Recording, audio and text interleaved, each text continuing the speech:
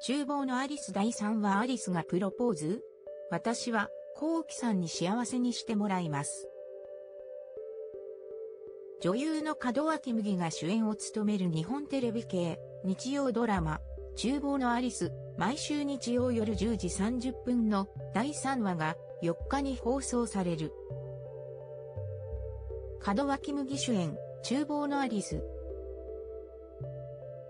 本作は、料理は化学ですが口癖の自閉スペクトラム症、 ASD を抱える料理人、八重森ありす、門脇麦をはじめ、それぞれに生きづらさを抱えた登場人物たちが織りなす、ハートフルミステリー。共演に、大森南朋、永瀬廉、 King & Prince、前田敦子らが名を連ねる。第3話ではアリスが、私は、コウキさんに幸せにしてもらいます。と、まさかのプロポーズ疑惑のシーンも放送される。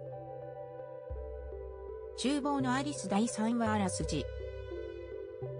親友、カズサ、前田敦子の生まれてくる赤ちゃんの名前を一緒に考え始めるアリス、門脇麦。カズサの母、アキコ、アナン敦子が言うには、親は、こういう子に育ってほしいという気持ちを名前に込めるようだけど、私の名前には、どんな気持ちが込められたんでしょうか？アリスは自分の名前を付けてくれた母親の思いが知りたくなってしまう。スーパー三国屋で買い出しをするアリスと幸い性、長瀬廉はアリスのお勝手の常連客、ユーナ、荒井薫の家族とばったり鉢合わせ。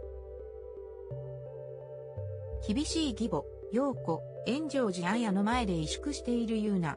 一方、店長、優作、前原瑞希は、アリスの正直すぎる言動に困惑し、幸い性に八つ当たり。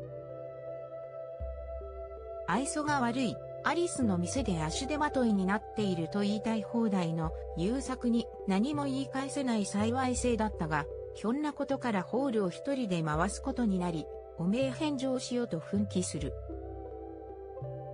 そんな中、アリスは、ユーナの体調の異変に気づき、あるメニューを考案。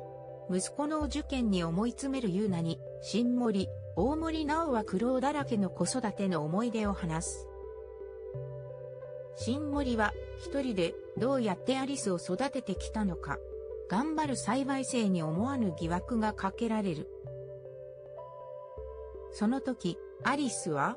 一人で抱え込みすぎる人の心を軽くする心、守るの言葉とは